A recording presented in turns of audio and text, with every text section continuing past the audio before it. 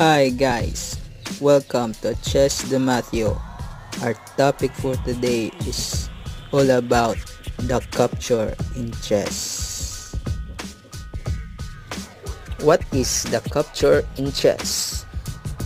The capture in chess is a move by a pawn or piece that removes from the board of the opponent pawn or piece and then the capturing pieces will occupy the square of the captured pieces. For example, bx c5, queen x f3, king x f3, bishop x h3, g x h3, rook takes a8, knight takes a8. The knight leaves its original square on b6 and occupy the captured square of rook on a8. However, in the special capture move called en passant, the original square of the captured pawn cannot be taken or occupied by the attacker.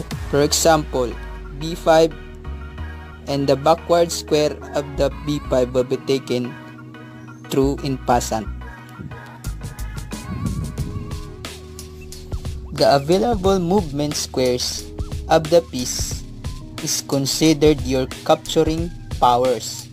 For example, the knight can take the bishop on b7 and then the king can capture the, the knight on b7 and the pawn can capture on f5 and the rook can capture the pawn on f5 and the bishop can capture the rook on f5 and the queen can capture the bishop on f5 thank you for watching. I hope you learned something in this video. And once again checkmate